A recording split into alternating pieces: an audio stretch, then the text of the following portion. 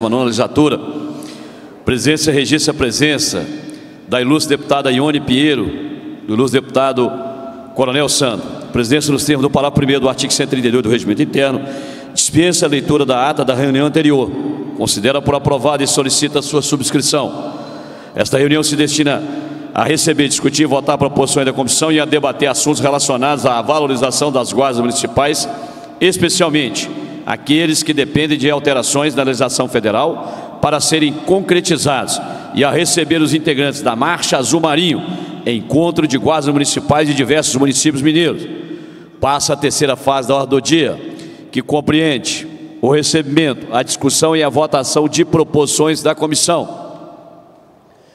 Sobre a mesa, requerimento assinado pelos deputados Sargento Rodrigues, Coronel Sandro e Ione Pinheiro, Excelentíssimo senhor presidente da Comissão de Segurança Pública, a deputada e os deputados, que a esse subscreve, requer a Vossa Excelência dos termos regimentais, seja realizada audiência pública para debater os impactos e consequências do regime de recuperação fiscal. Projeto de Lei 1202-2019, nas carreiras de policial e bombeiro militar, policial civil e penal, agente de segurança socioeducativa e servidores administrativos da segurança pública para tanto, requer ainda que sejam convidados os secretários de Estado de Planejamento e Gestão e secretário de Fazenda, bem como entidades de classe, associações e sindicatos.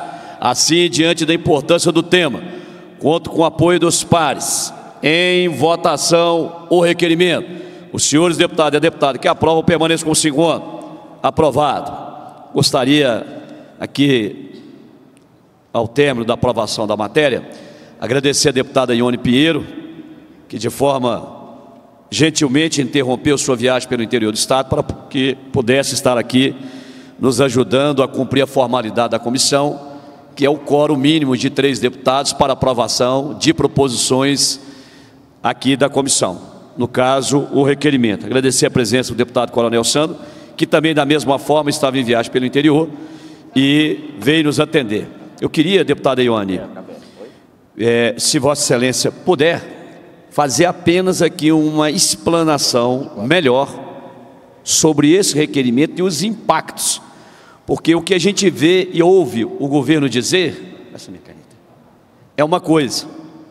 E o que está por trás, deputado Coronel Sandro, da, do regime de recuperação fiscal, é muito mais grave e que muitos deputados ainda desta casa não se atentaram.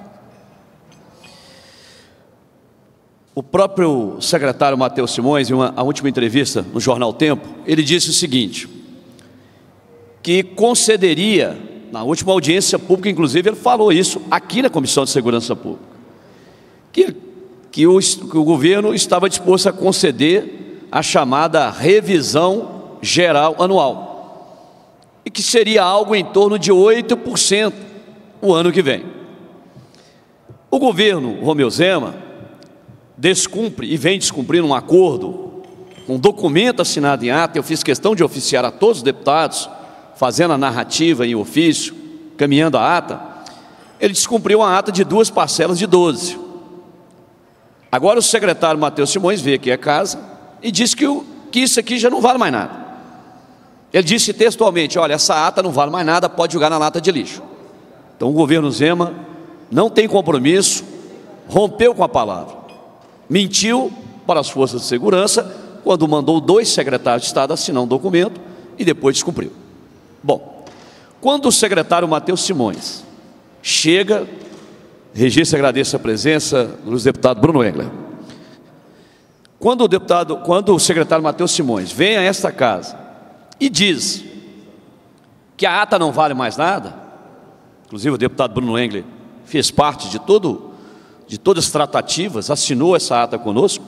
Quando ele diz isso, ele joga um documento assinado por dois secretários, e não só, só por dois secretários, não. Na verdade, foram seis, porque os chefes de polícia também assinaram o documento.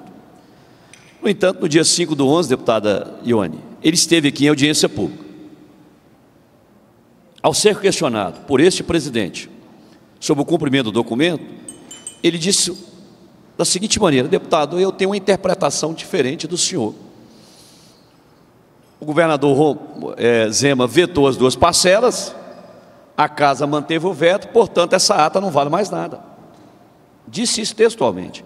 Como se um documento público assinado por seis secretários de Estado, deputados federais, estaduais, 15 sindicatos e associações não valesse mais nada.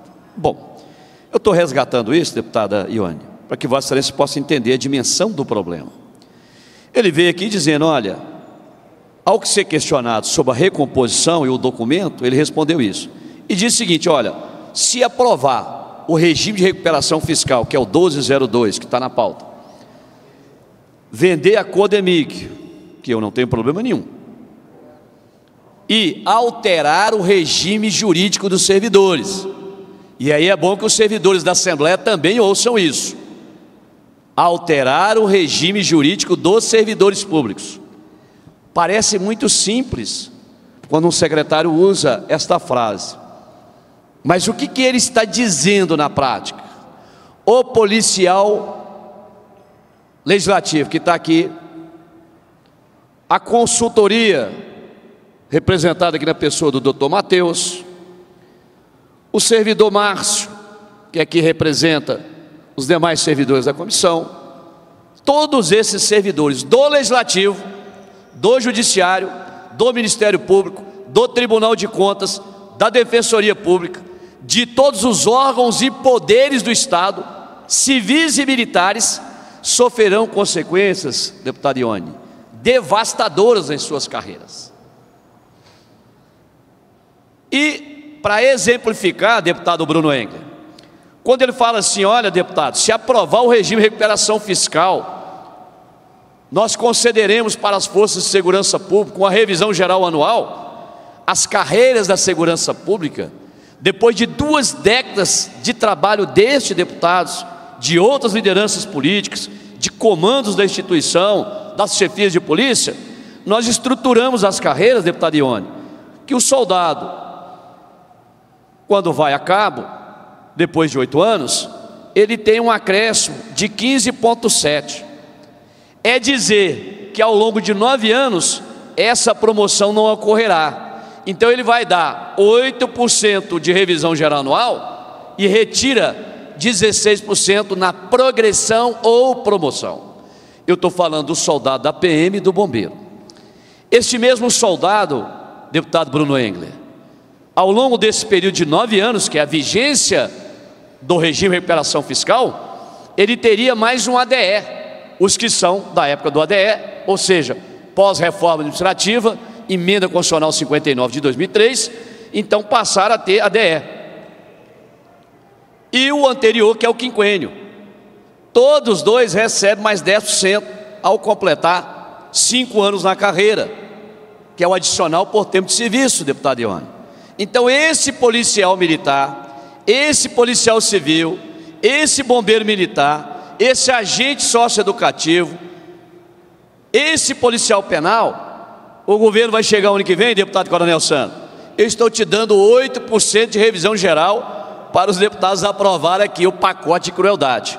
Mas eu vou retirar da sua carreira 16% na sua promoção de soldado a cabo, porque você não vai poder ser promovido. Que impede a promoção e progressão. E vou tirar 10% do seu ADE ou do seu quinquênio.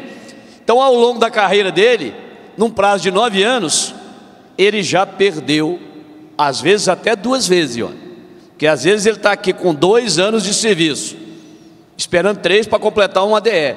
Depois de nove anos, ele tem onze. Então, ele vai perpassar por dois ADEs ao longo de nove anos. Nove anos, deputado Ione, está completamente congelada todas as carreiras.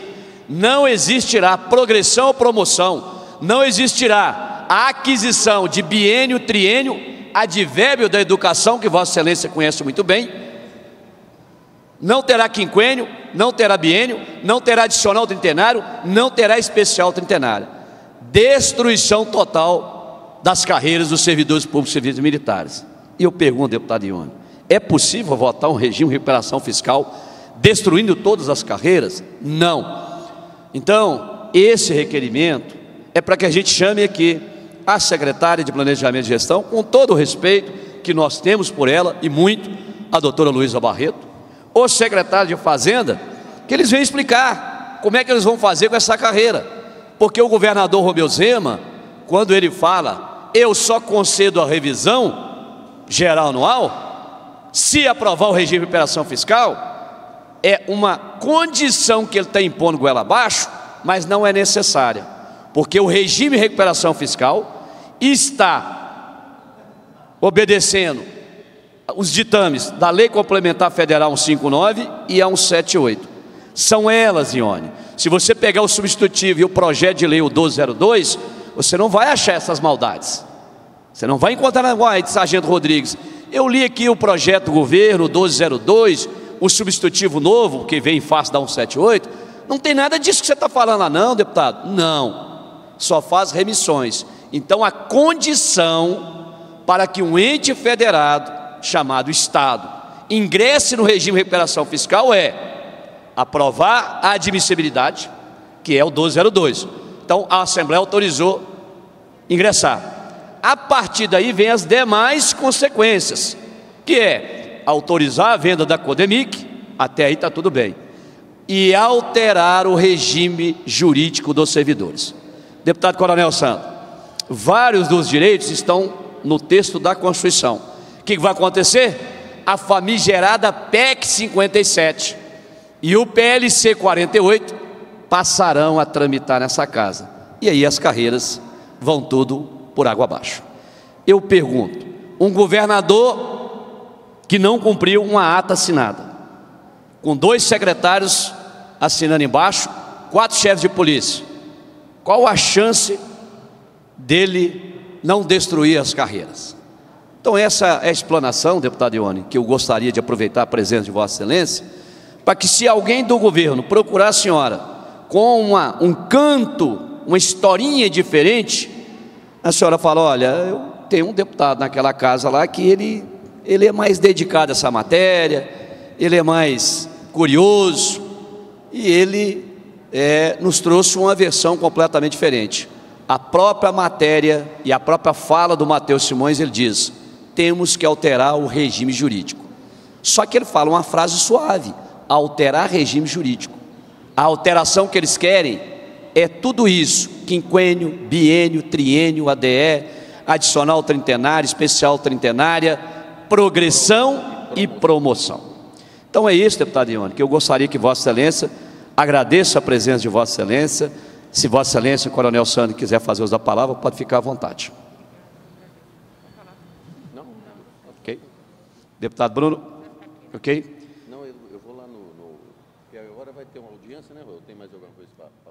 Não, o requerimento era só isso. Tá. Só isso. Que eu vou lá no plenário, lá no, lá no Ok. Então a presidência vai suspender os trabalhos para que os integrantes da Marcha Azul complete o entorno na Assembleia e para que a gente possa recepcionar. Agradeço a presença do deputado Bruno Engler mais uma vez, deputado Coronel Sandro, deputado Ione, e a presidência suspende os trabalhos até a chegada da marcha azul da Guarda Municipal. Se vai de cá, de maneira tal que todo mundo fique mais próximo. Ah, é polícia é outra coisa, né, doutora? Tem jeito não. Polícia pensa rápido e, e, e age. Essa que é a grande diferença.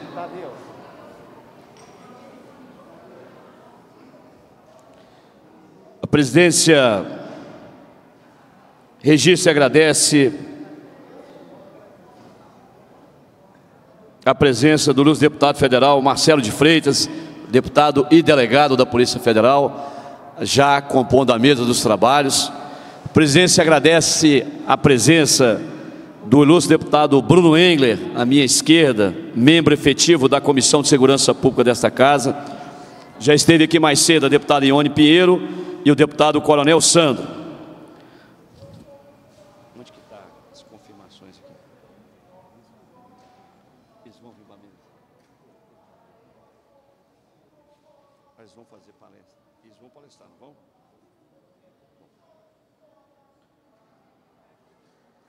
presidência também convida a tomar assento à mesa dos trabalhos o senhor Maurício Domingues da Silva, o inspetor naval da ONG SOS Segurança da Vida, de São Paulo. Olha de São Paulo, tinha prestigiado. Né?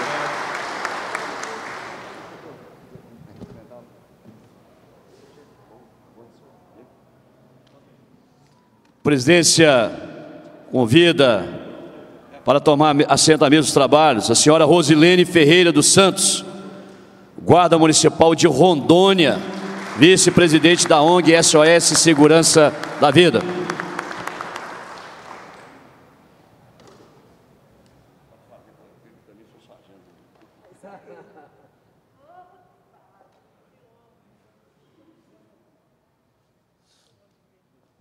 Essa moça está andando longe, viu gente?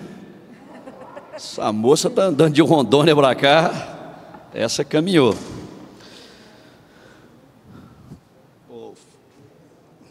Aqui estão presentes? Estão. A presidência registra e agradece a presença da senhora Fernanda de Brito Nascimento Silva, comandando a Guarda Municipal de Tabirito. Onde ela está?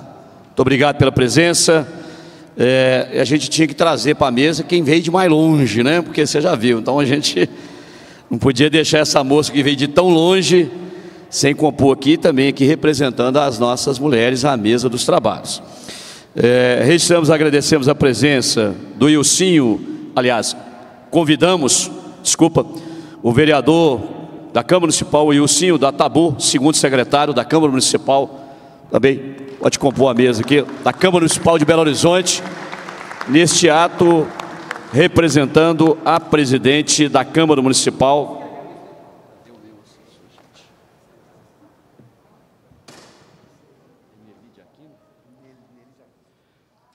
Representando a presidente da Câmara Municipal de Belo Horizonte, Nelide Aquino.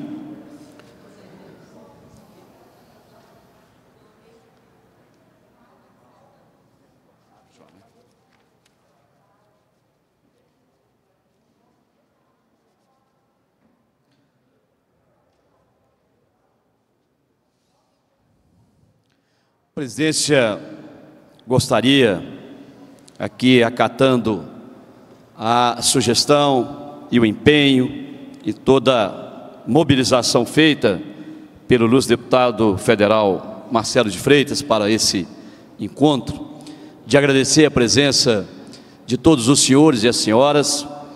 É, assim que o deputado federal Marcelo Freitas fez contato conosco, já identificando a Comissão de Segurança Pública da Assembleia como o espaço adequado para esse tipo de debate.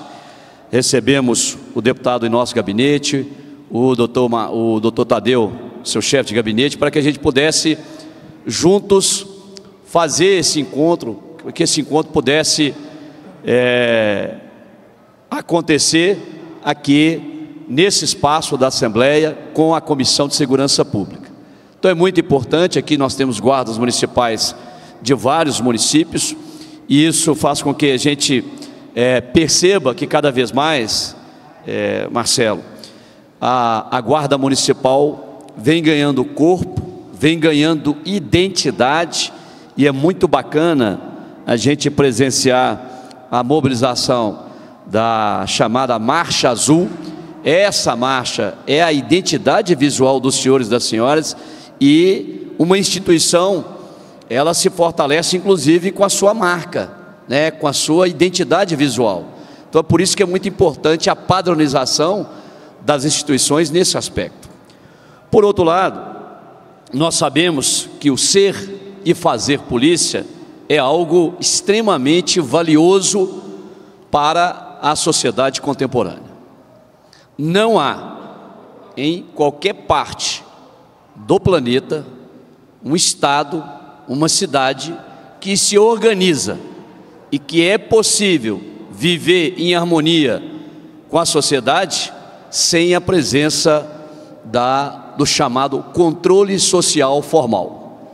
E o controle social formal, ele é exercido através, principalmente, do aparato de justiça criminal.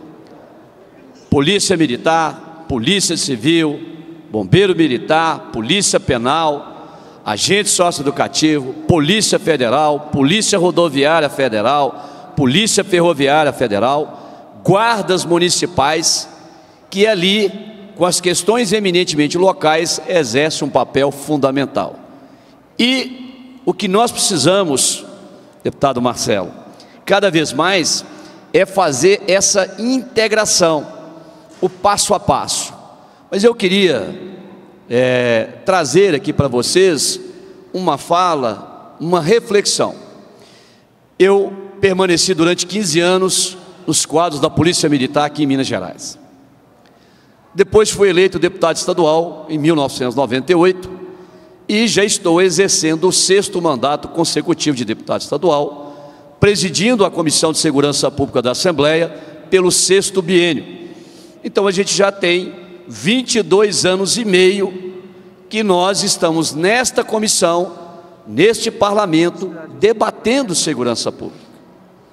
E segurança pública, deputado Marcelo, Vossa Excelência, que é delegado de polícia de carreira, que sabe a complexidade do assunto, sabe a complexidade da matéria, sabe que nós precisamos dos esforços de todas as áreas, de todas as forças, de todos os órgãos que exercem controle social formal através do poder público. E a Guarda Municipal tem um papel fundamental no seu município, na sua cidade, porque esse primeiro contato que ela depara e que ela precisa, ao longo do tempo, e cada vez mais se fortalecendo, cada vez mais se resguardando do ponto de vista jurídico, para que tenha a sua condição de exercer a sua atividade cada vez com mais tranquilidade e estabelecer carreira, estabelecer seus direitos, os deveres, as prerrogativas, porque a guarda municipal, né, o ato de policiar não é um ato exclusivo de polícia. A ação de policiar não é um ato exclusivo de polícia. A ação de policiar até o cidadão policia. O cidadão policia. Só que a gente chama isso de controle social informal. Vou dar um exemplo para vocês aqui. Não sei quem é que de uma cidade tão pequenininha aqui? Tem alguém de uma cidade minúscula aqui, Minas Gerais aqui? Muito pequenininha, né? Como eu conheço o estado igual a palma da minha mão, pelo menos esse estado, né? A nossa representante de Rondônia, nós temos 853 municípios, eu já conheço 820. Então vou pegar um município lá de Juvenília, no extremo norte. Pegar aqui a, a região do, do nosso conterrâneo aqui, já que meus pais são de Salinas. Vamos pegar Juvenília. É uma cidade pequenininha, para vocês entenderem um pouco mais do que é o controle exercido, do ponto de vista informal e do ponto de vista formal. Aquele senhorzinho fumando aquele cigarrinho de palha lá na pracinha, naquele município minúsculo, quando ele vê um carro diferente adentrando a cidade, circulando a praça, ele comenta com o senhorzinho do lado dele, falou, olha, esse carro não é daqui não. Aquilo ali, não, esse carro está diferente aqui. Então as pessoas lá exercem o controle social informal. E aquilo acaba chegando no ouvido do destacamento da Polícia Militar local, que acabará fazendo uma diligência, fazendo uma abordagem, buscando saber. Então, o ato de policiar não é um ato exclusivo do Estado. Policiar, qualquer um pode policiar. Agora, revestido da legalidade, com o monopólio legal e, legítimo, legal e legítimo do uso de força, aí é o poder público. E é nesse sentido, deputado Marcelo Freitas, que a guarda municipal tem que caminhar.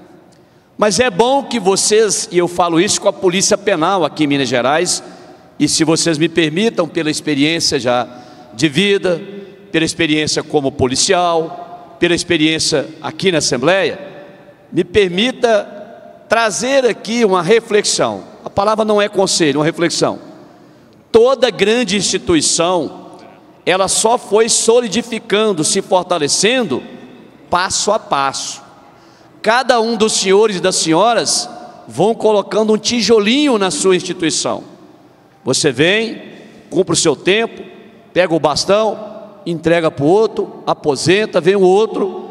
É assim que as instituições de Estado das chamadas carreiras tipo de Estado, vem se fortalecendo ao longo de anos, de décadas e de séculos, como é o caso da Polícia Militar em Minas Gerais, com 246 anos de sua criação. Então, A gente sabe, viu, doutora, que a chamada geração Z, elas estão mais, são mais impacientes. Elas querem, doutor Marcelo, e mais rápido. Então tem que segurar um pouquinho a ansiedade, porque as instituições só vão se solidificando com o tempo. E cada um tem um papel importantíssimo na sua instituição. Então, passo a passo. Não queiram dar um passo muito largo. Pelo menos assim a gente foi, a gente aprendeu com os nossos pais, os avós, se você der um passo muito largo, você desequilibra e cai. Vai naquela marcha contínua, segura, que a instituição guarda municipal vai se fortalecer passo a passo, vai buscando o seu espaço, vai se fortalecendo do ponto de vista constitucional e das demais leis, para que vocês, ao longo do tempo, tenham know-how, tenham experiência, tenham conhecimento, tenha boa formação acadêmica e aí sim cada vez mais possa prestar um serviço que é que todos nós aqui devemos prestar, que é a sociedade. Então todo o investimento que nós temos do poder público, seja no município, no estado ou na União, é com o único objetivo, prestar uma melhor qualidade. Eu não tenho dúvida nenhuma que a Guarda Municipal pode prestar um policiamento de excelência. Nós temos é que perseguir. E nós, eu deputado Bruno Engler, nossa competência para analisar a sua matéria está. É, nós temos dificuldade, porque as grandes causas de vocês perpassam pela, pela, pelo Congresso, mas há questões ainda que podem ser trabalhadas aqui no âmbito do Estado. Encerro as minhas palavras, fazendo essa reflexão com os senhores e com as senhoras, dando as boas-vindas, né, dizer para a nossa querida Rosilene, que ela é muito bem-vinda no nosso estado. Seja muito bem-vinda. Que Deus te abençoe na sua luta, na sua, na sua é, luta, labuta diária lá no estádio Rondônia. E com certeza você terá um papel fundamental lá para puxar, ser a, a, a timoneira desse trabalho lá na Guarda Municipal. Muito obrigado e passo a palavra para suas considerações iniciais ao ilustre deputado federal, delegado Marcelo de Freitas. Doutor, o senhor tem a palavra.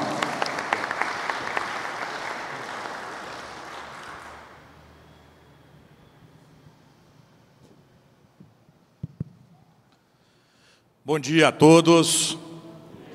Eu gostaria, nessa ocasião, de cumprimentar inicialmente o meu amigo, ilustre deputado Sargento Rodrigues, em seu nome, cumprimentar a Comissão de Segurança Pública da Assembleia Legislativa desse Estado de Minas Gerais, registrar a nossa satisfação em comparecer nessa Casa do Povo, nesse momento em que procuramos fazer mais uma marcha azul marinho, na busca por atender aos interesses da Guarda Municipal de todo o nosso país.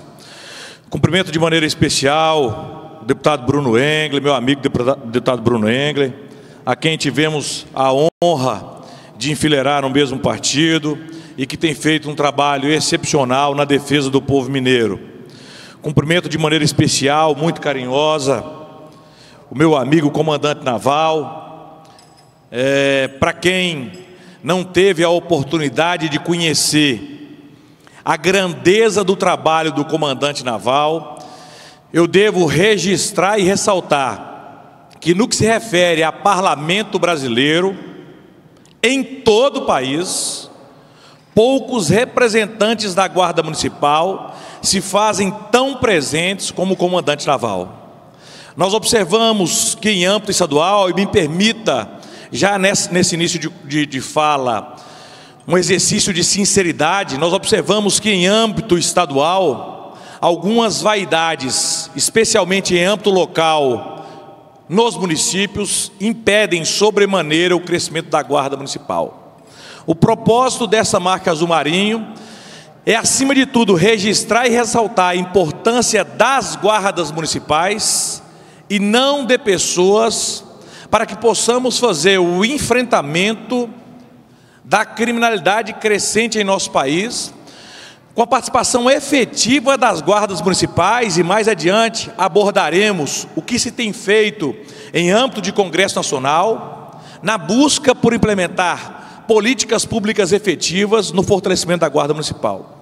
Então, a minha deferência, o meu respeito ao comandante naval, essa semana já estávamos em um seminário na Câmara dos Deputados, em que discutíamos da Comissão de Legislação Participativa da Câmara exatamente o fortalecimento da Guarda Municipal.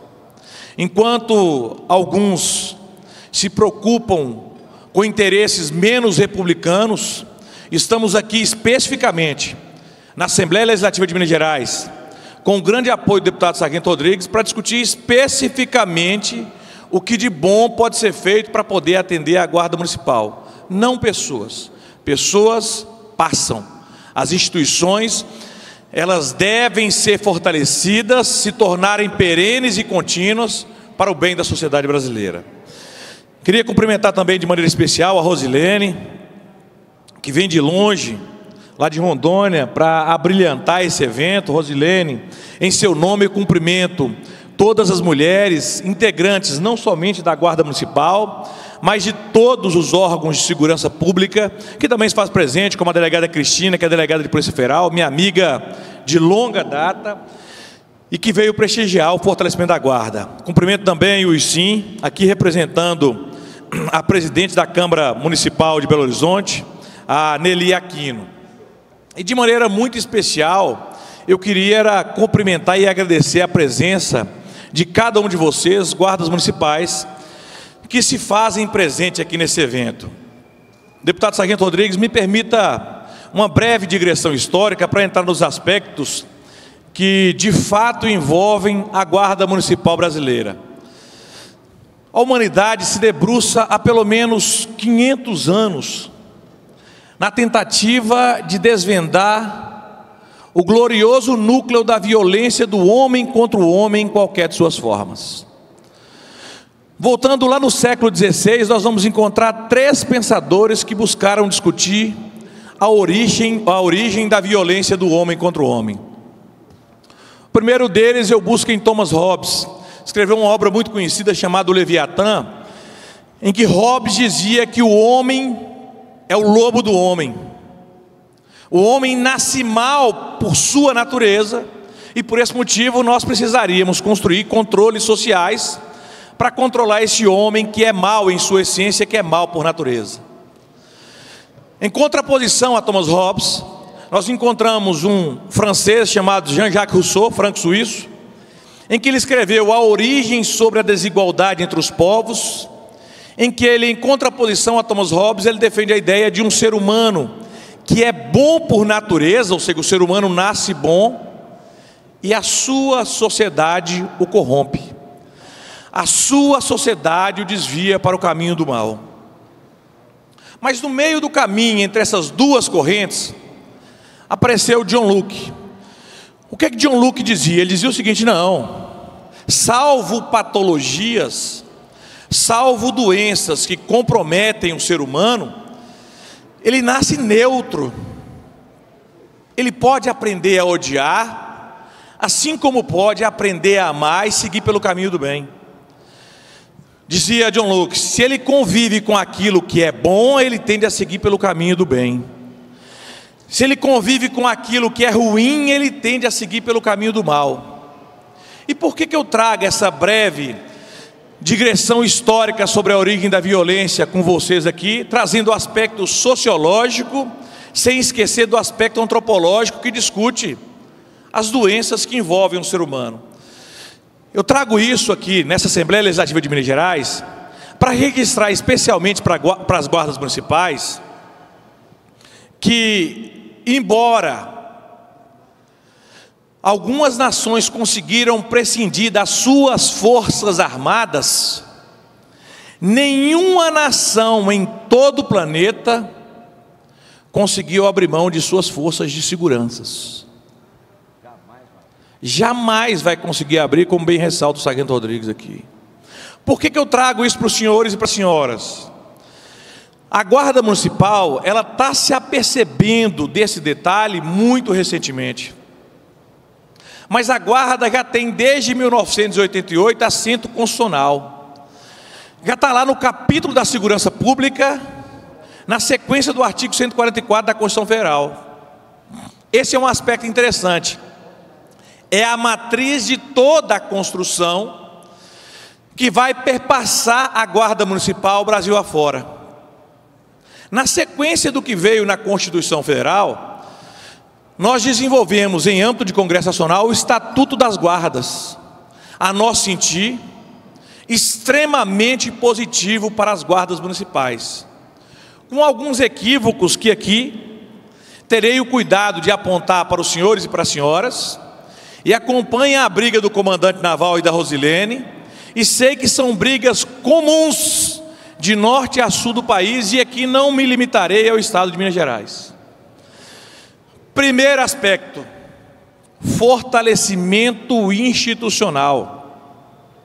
É importante que, para além do Estatuto das Guardas, previsto na Seara Federal, os municípios compreendam, em âmbito municipal, a importância de se ter um normativo que lhes garanta um plano de cargos e salários. Isso não é feito na imensa maioria dos municípios de nosso estado de Minas Gerais. E que estabeleça um código de ética e disciplina para que cada guarda municipal possa exercer a sua função da melhor maneira possível, balizada em padrões éticos e normativos, que obviamente, se se desviarem, haverá a força punitiva do poder público. Por que, que isso é necessário? Porque uma das condições para que a gente possa evoluir no fortalecimento institucional da Guarda Municipal a existência de uma corregedoria estruturada que possa garantir às guardas municipais os seus portes funcionais de arma de fogo. Esse é um aspecto que eu quero trazer para os senhores e para as senhoras.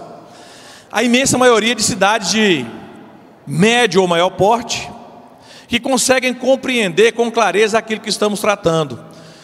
Mas a imensa maioria dos guardas não se depararam com essa realidade ainda. O Estatuto das Guardas estabeleceu que os guardas municipais das capitais ou cidade acima de 500 mil habitantes fazem jus ao porte de arma de fogo, na categoria institucional, inclusive. Contudo, nós tivemos a decisão emanada do Supremo Tribunal Federal, inicialmente a liminar do ministro Alexandre de Moraes, depois chancelada, corroborada pelo plenário do Supremo Tribunal Federal, que entendeu que o dispositivo que limitava o porte de armas de fogo dos guardas municipais era inconstitucional. Por que inconstitucional, senhoras e senhores? Simplesmente pelo singelo fato de que a criminalidade macro-organizada, ela que comete um crime em Belo Horizonte, ela pode facilmente se deslocar para cidades da região metropolitana de Belo Horizonte, que possuem menos de 500 mil habitantes, e que, portanto, podem ter uma guarda municipal desarmada, não apta a enfrentar essa criminalidade. Exemplo concreto: o novo cangaço, que Minas Gerais, por intermédio da atuação da nossa gloriosa Polícia Militar, junto com a Polícia Rodoviária Federal, conseguiu estancar uma quadrilha que assustava várias partes do país. Cidade essa onde a guarda municipal é desarmada. Então, o primeiro aspecto que quero registrar para vocês, a nosso sentir, e temos buscado junto à Polícia Federal, o entendimento administrativo da instituição hoje é equivocado. Como requisito objetivo para a concessão do porte na categoria defesa pessoal, nós compreendemos com clareza solar, e o presidente da República também o compreende, que o simples fato, Rosilene, do exercício da profissão do guarda municipal já demonstra a efetiva necessidade, a declaração de efetiva necessidade necessária a requisição, a solicitação do porte na categoria defesa pessoal. Então, essa mudança nós já estamos buscando em nível de Polícia Federal, para que os guardas municipais de todo o nosso estado, de todo o nosso país, obviamente cumprindo os demais requisitos objetivos da lei, eles consigam o porte na categoria defesa pessoal. Ao lado do porte na categoria defesa pessoal, nós temos o porte institucional. É o porte concedido pelo município. E quando a discussão em Belo Horizonte aconteceu, eu era o delegado regional de combate ao crime organizado em Belo Horizonte, e eu acompanhei de perto as dificuldades que a Guarda Municipal de Belo Horizonte teve para poder se armar. Desde a apreensão das armas pela Polícia Federal, até a inexistência de um, de um cofre forte, de uma corredoria estruturada para que a gente pudesse conceder o porte institucional de arma de fogo para as guardas municipais da capital de Belo Horizonte. Agora, senhoras e senhores, e meu tempo vai acabando, nós temos que buscar, nesse evento na segurança pública, é fortalecer as guardas municipais de todo o nosso estado de Minas Gerais, sem olvidar as guardas municipais de norte a sul do país. Aqueles colegas, e eu falo colega porque sou integrante das Forças de Segurança Pública, que por questões diminutas não permitiram que os guardas municipais pudessem compreender a grandeza desse evento e aqui se fizessem presentes, estão cometendo um ato de covardia com seus próprios colegas, porque estamos aqui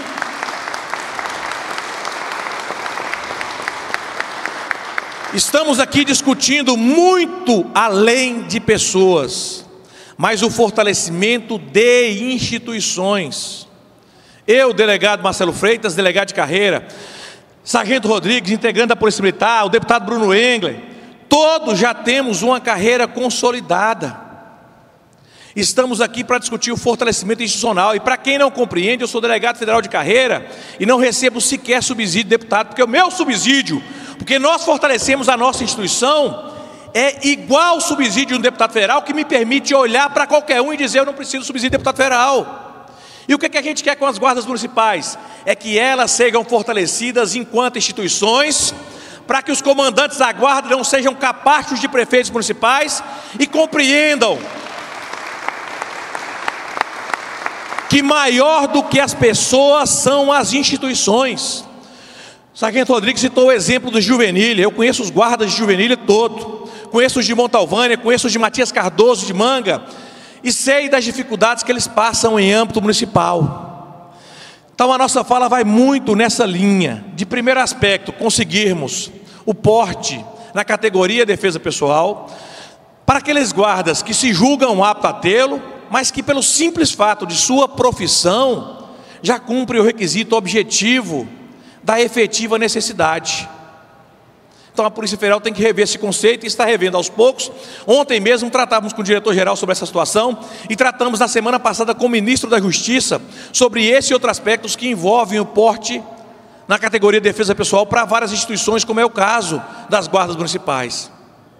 Tratamos também com a Senasp, e aqui já concluo, Sargento Rodrigues, é, eminente presidente da Comissão de Assembleia Legislativa de Minas Gerais, com a ideia de conseguirmos olha o aspecto relevante disso, que as viaturas das forças nacional de segurança, elas possam, elas possam, em cada remanejamento, serem direcionadas às guardas municipais de todo o país. Porque a gente sabe a dificuldade de viaturas que as guardas ainda têm, especialmente nos municípios de menor porte. E o ministro da Justiça já assinou positivamente nesse sentido, está revendo um ato que busca fazer a cessão dessas viaturas para as guardas municipais, para que a gente possa, acima de tudo, fortalecer instituições. Eu concluo citando Guimarães Rosa, eu sou um sertanista, eu sou do norte de Minas. Guimarães Rosa dizia o seguinte: o andar da vida embrulha tudo. A vida é assim: esquenta, esfria, aperta e afrouxa, inquieta e desinquieta.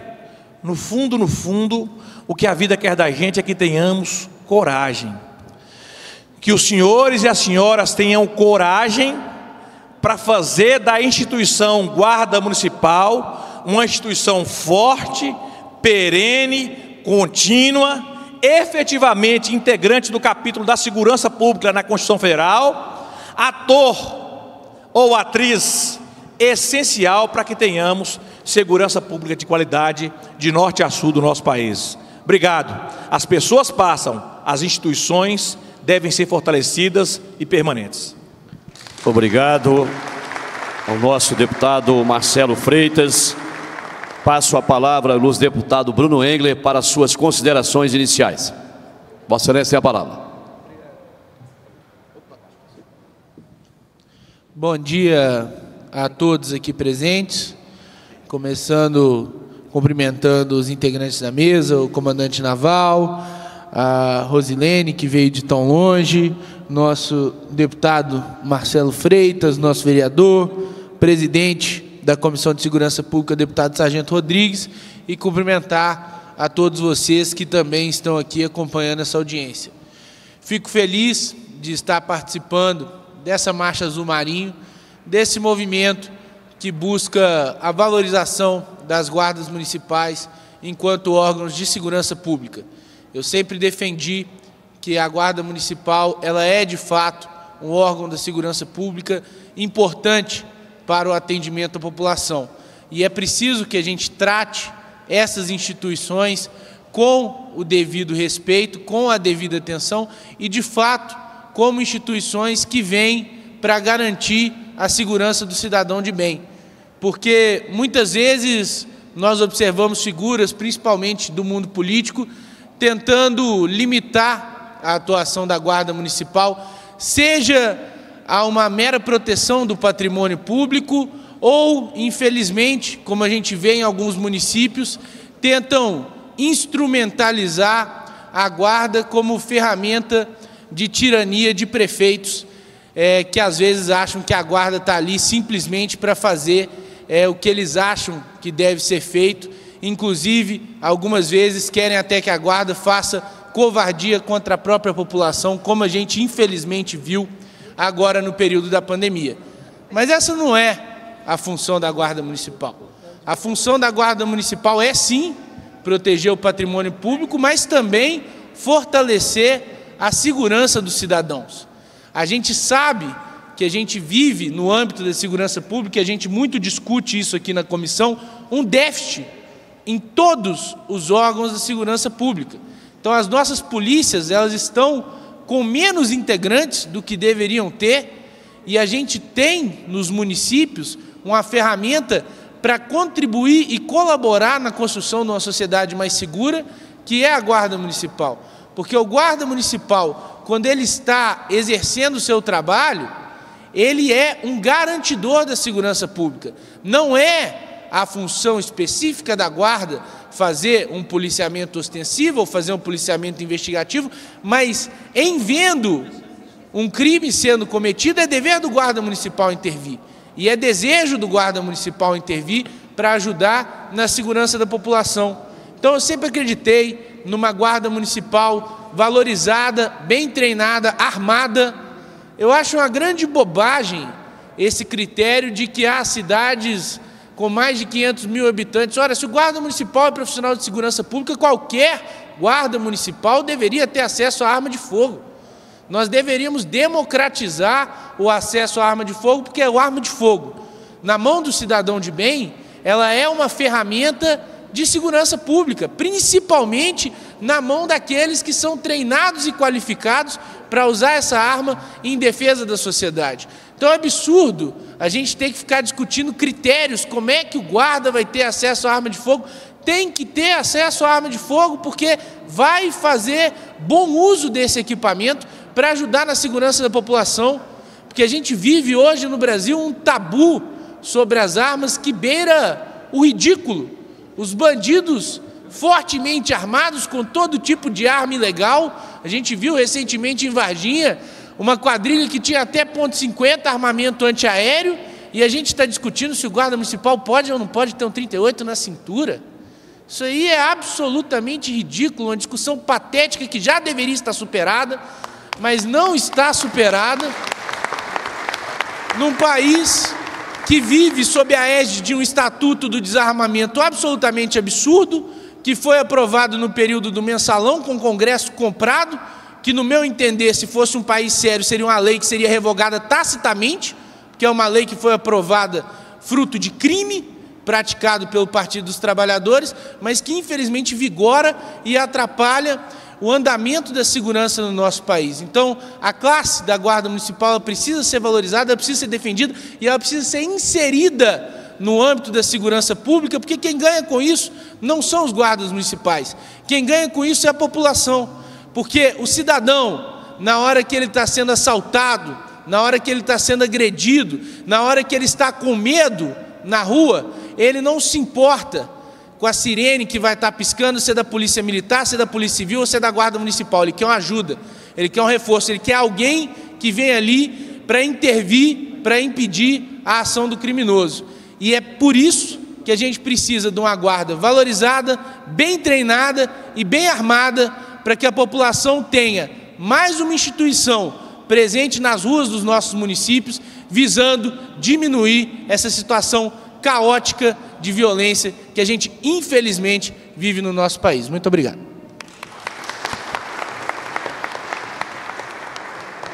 A presidência agradece ao ilustre deputado Bruno Engler e vamos tentar aqui fazer um trabalho propositivo e para que não fique cansativo, repetitivo, nós vamos agora vamos conceder a palavra ao nosso representante da Câmara Municipal e em seguida a Rosilene fará uma exposição. Os dois expositores, a gente vai deixar um, a gente tá, eu estou controlando aqui o tempo, que é uma, é uma, missão árdua, difícil, você controlar tempo em debate. É, às vezes vocês não viram a plaquinha aqui não, mas eu botei uma plaquinha aqui para o nosso delegado federal. Doutor Marcelo, três minutos para o senhor. Ninguém viu. Então, a gente precisa fazer isso, né? É, eu vou passar para o nosso vereador, em seguida Rosilene e depois o comandante naval.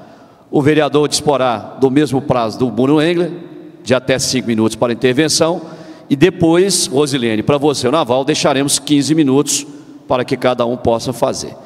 Estava todo mundo 15 minutos. Eu fui lá e falei, não pode não. O evento, se você deixar, você dá 5, o cara fala 10, né, Marcelo?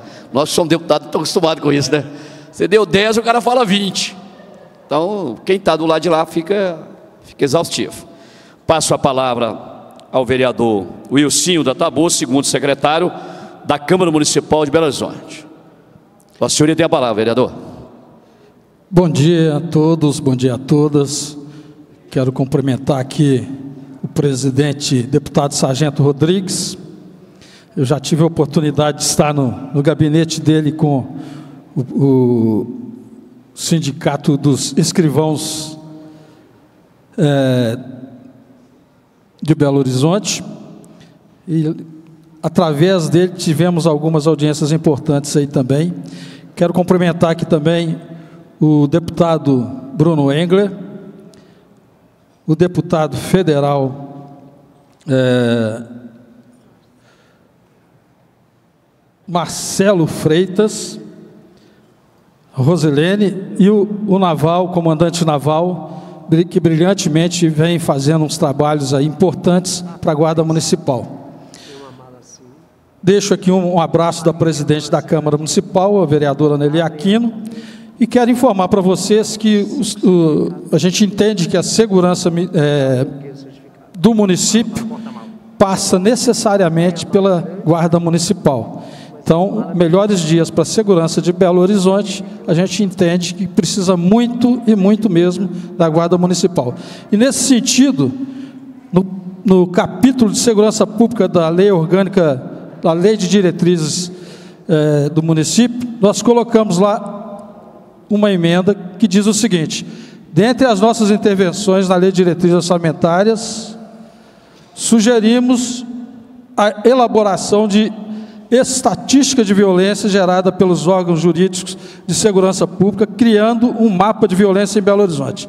Sugerimos também o desenvolvimento de parcerias da Guarda Civil Municipal com instituições de segurança pública brasileira e estrangeiras, no intuito de estabelecer troca de experiências e tecnologias para maximizar os resultados das ações da segurança pública.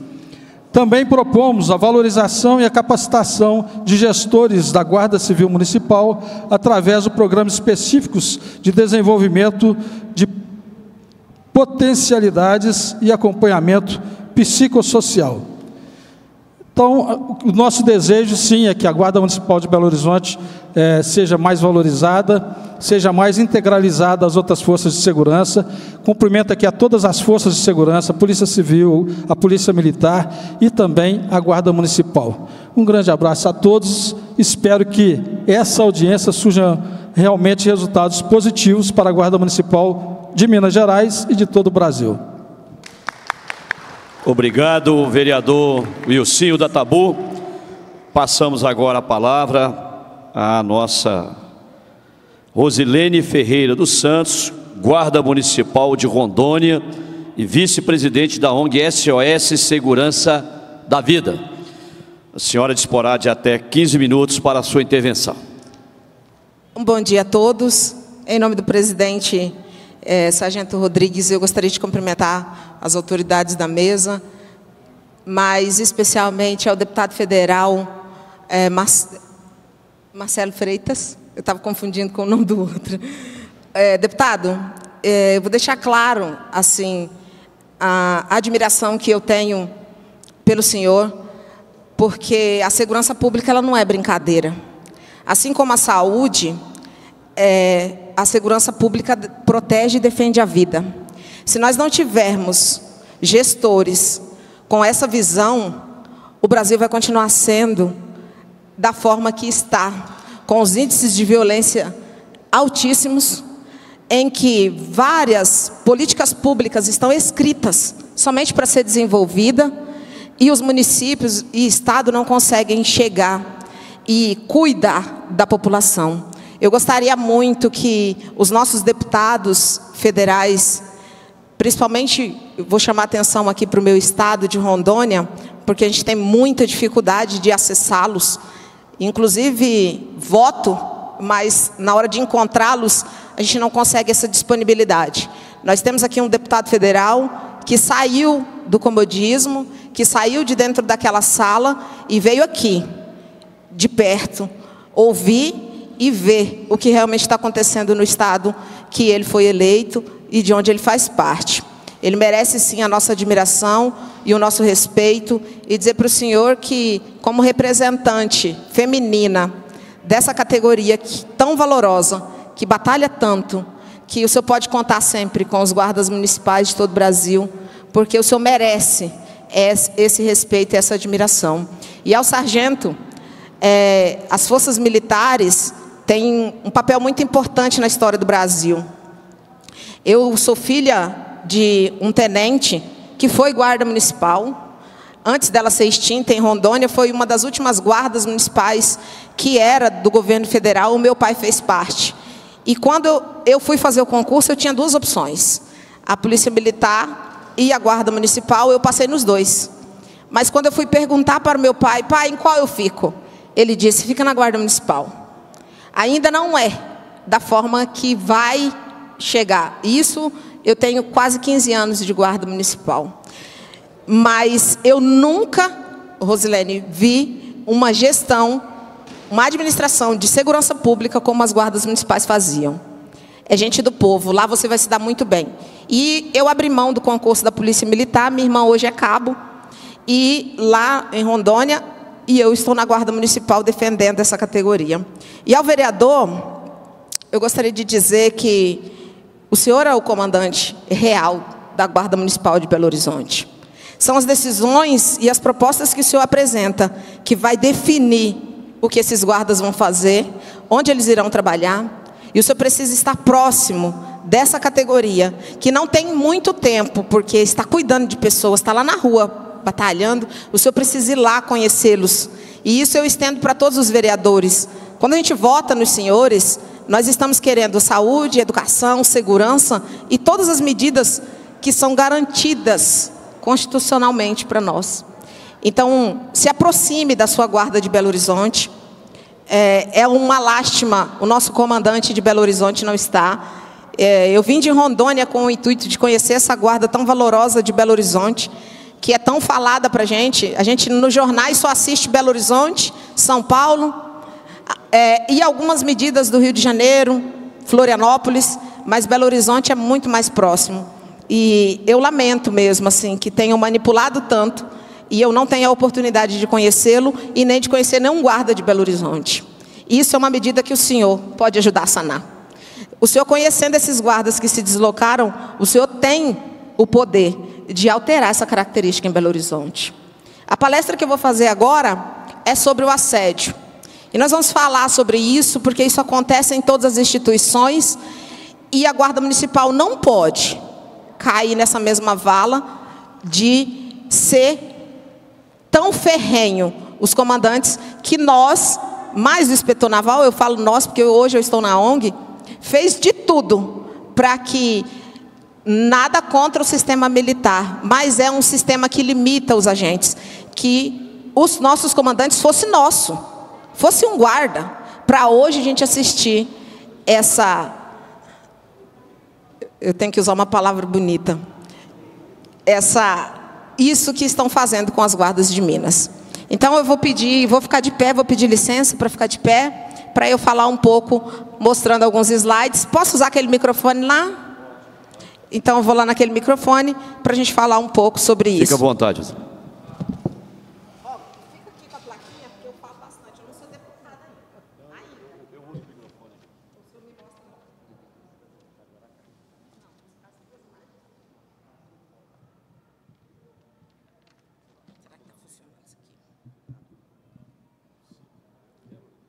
Funcionando? Vamos lá. Tem que ficar parado aqui atrás.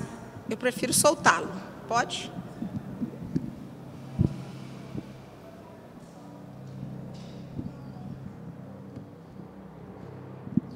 Não vai contando meu tempo aí não, viu? Vai começar daqui a pouco. Já está contando desde 10h47.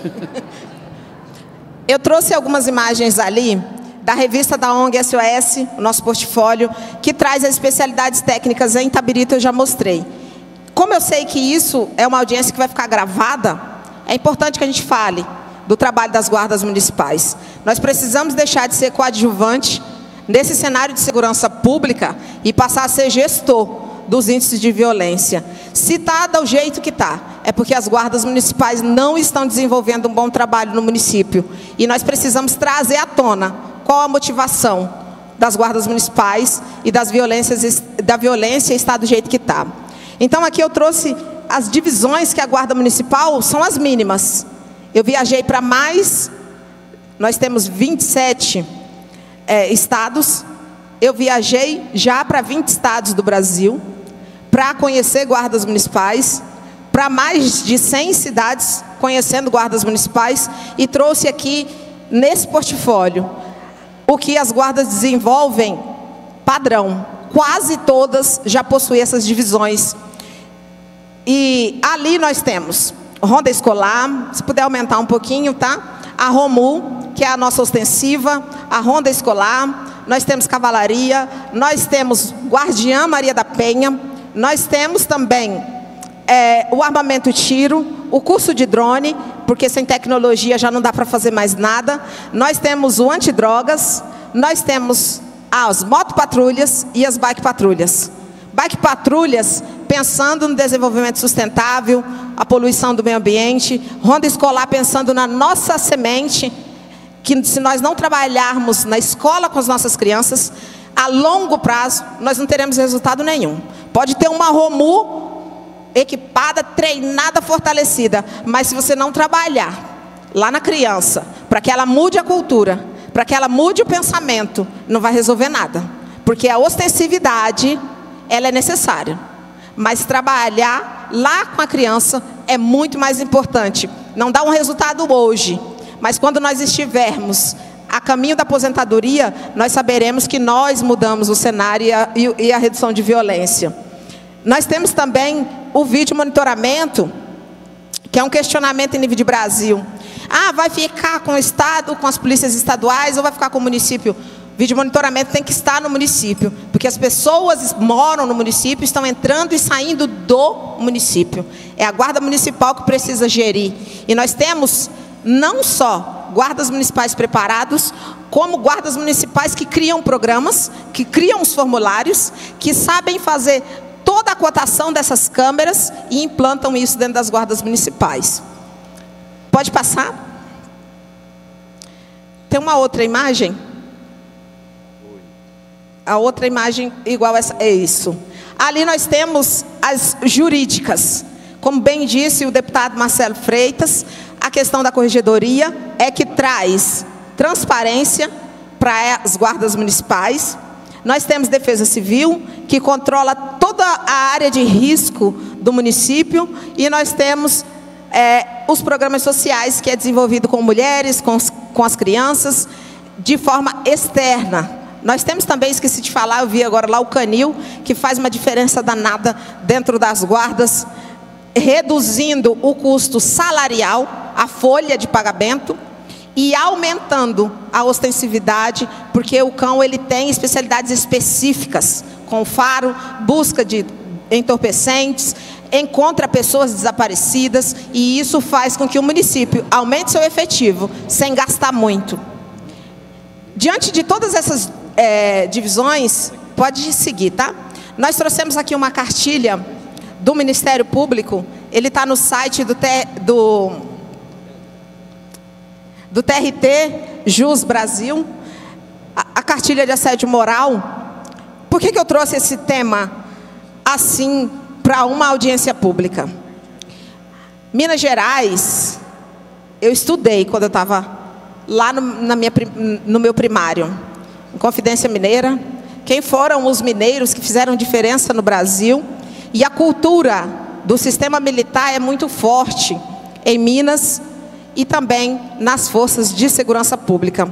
Então, existem dois tipos de assédio dentro das instituições de segurança pública: o moral e o sexual. E eu vim aqui falar como mulher do assédio sexual que as mulheres sofrem dentro dessas instituições, a ponto de se subordinarem a, a, a ter comportamentos para favorecer comandantes, para favorecer colegas que estarão conosco na viatura.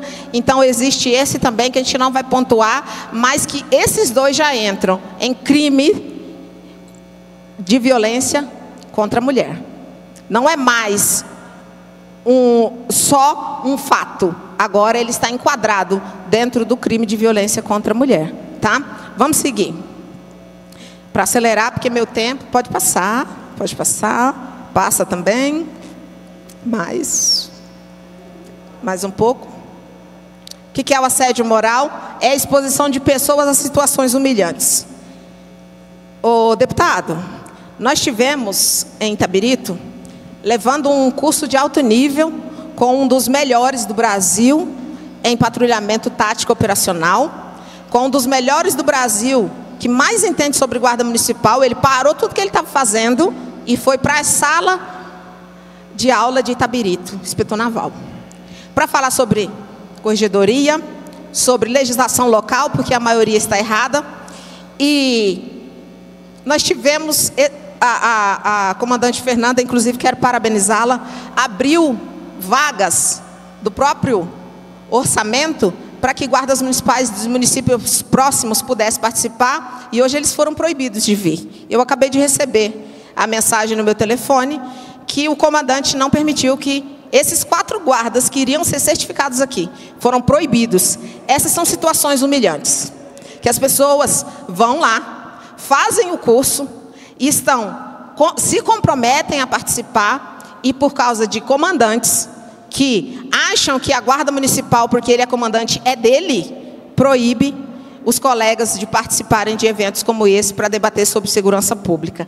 E isso é uma das questões que só a política pode mudar, porque são cargos colocados por políticos. Secretário é escolhido pelo prefeito, comandante escolhido pelo secretário. Isso é questão política. E aí eu te faço esse pedido. Que o senhor olhe com mais cuidado também para o que está acontecendo dentro das guardas, para que não tenha é, vastos processos no sistema judiciário contra o assédio moral acontecido, porque existe o assédio institucional. Esse, isso que eles fizeram é um crime, é um assédio institucional. Toda a instituição te colocando em uma situação vexatória, em uma situação que você teve que voltar atrás daquilo que foi dito, e nós vamos ver ali como que se caracteriza o assédio institucional. Quando você é subordinado à instituição e a instituição te impõe limites e você acaba não podendo desenvolver tudo aquilo que você gostaria.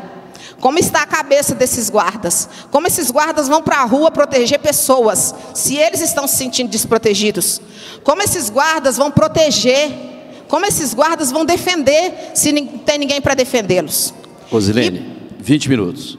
Pelo fato de guardas municipais não terem suas corregedorias, os seus representantes instituídos legalmente, nós precisamos nos subordinar. Pode passar. A classificação, assédio interpessoal, né, com a finalidade de prejudicar ou eliminar a relação na equipe, quando eu mino meu colega. Ó, oh, não gosto de trabalhar com fulano, porque o fulano, você sabe, é 13. O fulano, isso é assédio. E é de colega para colega, não é só de comandante, tá? E isso não pode acontecer dentro das nossas guardas municipais. A gente precisa enfrentar esse problema. Ah lá, assédio moral institucional. Quando a própria organização incentiva e tolera atos. A organização, como vai ser amanhã, para o guarda de Nova Lima, que se dispôs um dia de folga vir aqui. O que vai acontecer com ele quando ele retornar lá para a cidade dele? O comandante dele vê a foto, ah, você está me enfrentando?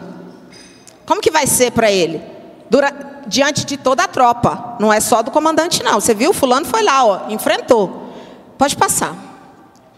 Assédio vertical, quando acontece, né, de hierarquia, comando para comandado. Então, esse é o assédio vertical e os descendentes, assédios de chefe em relação aos subordinados. Pode passar. Pode passar. Horizontal, né, que são de pessoas do mesmo nível. Então, quem trabalha comigo na viatura também pode cometer assédio. Por um problema que eu esteja passando e ele tira sarro. Por um problema que está acontecendo externo e você trouxe como se fosse profissional. É um problema pessoal, você teve ciência e isso passa a fazer parte da minha vida profissional, me prejudicando profissionalmente, me limitando, eu não conseguindo desenvolver as minhas funções como deveria. Então, isso também ocorre de colega para colega. Então, as brincadeiras, a gente precisa parar de brincar de ser segurança pública. A gente precisa parar de brincar de ser esse profissional. Nós temos que sê-lo de fato. O profissional é uma coisa e o pessoal é outra. Quando um intervém no outro, de forma prejudicial, isso é assédio. Se é na minha profissão, está me influenciando lá na minha casa a cuidar dos meus filhos, eu não tenho mais vontade de levantar de manhã, de vestir a minha farda, então esse é o assédio. Tá? Vamos seguir. Ali tem algumas situações que caracterizam assédio. Retirar autonomia, retirou autonomia. Quantos aqui tinham autonomia para vir e não puderam vir? Quantos têm autonomia de decisão e na hora que ele decide, alguém vai e desfala o que ele falou. Isso é uma característica de assédio. Pode passar. Eu vou falar só alguns para não ficar muito forçado. Pode seguir. Espera aí que eu quero chegar aqui nas consequências. Dores, palpitações. Então, essas são as consequências do assédio. Uma das coisas que eu gostaria, o inspetor naval disse para mim, encerra, comandante não pede, manda, né? É, nós, como ONG SOS Segurança da Vida, nós estamos à disposição, tanto para as mulheres quanto para os homens, que têm passado por situações constrangedoras e que não têm mais condições de batalhar contra isso ou que tem que ficar calado, nós iremos tomar frente nesse cenário para que as guardas municipais instituam as suas corregedorias, as suas ouvidorias, para que esses assuntos sejam debatidos dentro da guarda, para levar saúde, para levar educação, segurança, o guarda municipal ele precisa estar bem psicologicamente, mentalmente, e isso permeia é responsabilidade de comandantes, de secretários e de toda a instituição. No mais, inspetor naval, quero agradecer novamente pelo convite Deputado, aquela palestra que eu fiz, eu estava sentada na rodoviária, estava em viagem, o inspetor falou, vai ter que parar. Parei na rodoviária, coloquei o banner atrás, sentei na minha mala, vesti só a parte de cima e fiz o seminário nacional, é, botei o celular e fiz o seminário nacional na rodoviária de Comodoro. Não há limites. quando a gente quer que a nossa categoria cresça, que a nossa categoria evolua. E vir de Rondônia para cá é cansativo, mas é muito prazeroso por saber que eu estou aqui colaborando com o crescimento e o desenvolvimento das guardas municipais. Sargento, muito obrigada, parabéns pela sua iniciativa e que Deus continue abençoando para que o senhor consiga compreender que as guardas municipais também fazem parte, que elas precisam ser visualizadas. Muito obrigada. Agradecemos a senhora Rosilene Ferreira dos Santos. É, o tema que a senhora abordou, eu também já sou autor da lei aqui no Estado de Minas Gerais, que disciplinou o assédio, né? Ou seja, disciplinou a questão do assédio moral aqui no âmbito do Estado de Minas Gerais. A lei de 2011, eu pedi assessoria para imprimi-la, vou entregar em mãos a Rosilene, que a Rosilene pode, a partir da lei, colher sugestões, a legislação que eu trabalhei muito, porque é, eu conversava aqui muito com o doutor Marcelo, ah, nós temos em qualquer instituição, e é bom deixar isso claro, nós não podemos confundir hierarquia e disciplina com assédio moral. Hierarquia e disciplina tem que haver em qualquer instituição na face da terra, e principalmente instituições de segurança pública, mas ela não pode ser confundida com assédio. E eu posso falar isso com, com muita experiência vivenciada enquanto soldado, cabo, terceiro e segundo sargento e enquanto legislador. Então não foi por, por um acaso que eu persegui aqui a aprovação da lei que disciplinou né, a, a, a, essa questão de, da punição em relação ao assédio moral. Uma coisa é disciplina e hierarquia, que tem que existir, porque na sua casa tem, você não pode ter pai e filho mandando em pai e mãe. Você não pode inverter a lógica. Né? Por mais democráticozinho que você seja, por mais bonzinho que você seja, quem direciona a casa são os pais. Né? É o pai e a mãe que dá o direcionamento, é o pai e a mãe que aponta o caminho. Tudo isso está dentro de um contexto né, de uma disciplina familiar.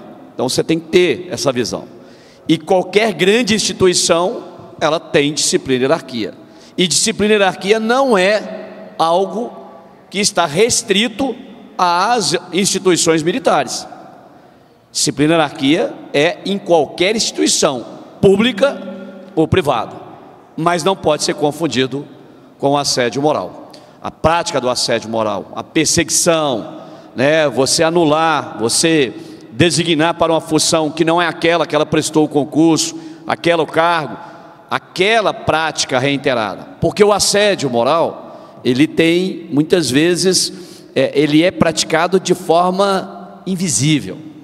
Ele é praticado de forma é, que as pessoas não percebem. Então está aqui o texto da lei, Lei Complementar 116 de 11 de janeiro de 2011, dispõe sobre a prevenção e a punição do assédio moral no âmbito da administração pública estadual. Então, essa lei, Rosilene, que eu tive o, a, a, a, o prazer de ser autor dela, nós trabalhamos muito para que isso acontecesse, né? Do ponto de vista dos direitos e garantias fundamentais, né, especialmente a dignidade da pessoa humana, na prática do assédio, ele atinge isso de forma frontalmente. Então eu passo as mãos, viu, doutor Marcelo? aqui para a nossa Rosilene, que ela com certeza, viu Rosilene, poderá ter aí. Aqui em Minas Gerais eu fui o relator do novo Código de Ética e Disciplina dos Militares, só que foi lá em 2002, ainda na primeira legislatura, porque nós, sobre, nós éramos regidos por um chamado RDPM, que era cópia fiel do RDE das Forças Armadas. E Minas Gerais foi o primeiro estado a acabar com prisão administrativa. Eu mesmo sofri inúmeras prisões administrativas durante a minha vida operacional. Então nós tínhamos aqui, doutor Marcelo, coisas assim absurdas. Eu comandei viaturas Rotan de 88 a 93. Então um determinado comandante passava no comando da unidade, bateu a viatura, a guarnição está cinco dias preso. É isso que vocês estão ouvindo. Dizia que era a forma de evitar o acidente. Bom, mas quem estava errado? Não, não precisava de perícia, não precisava sequer de uma sindicância administrativa para apontar se o acidente, o motorista deu causa. Bom, mas quem está dirigindo é um que está habilitado, mas prendia a guarnição toda. Bateu a viatura, era cinco dias preso. Eu tive a felicidade de acabar com a prisão administrativa com o novo Código de Ética, que é a Lei 14.310 de 2002, a qual foi relator da matéria em primeiro e segundo turno. Então, são matérias que estão relacionadas a vocês no dia a dia. Quando o doutor Marcelo falou que de um código de ética, é necessário. Não tem jeito de achar que, ah, eu quero ser guarda municipal, mas não quero estar é, regido por um código de ética. Não tem como. Não tem como.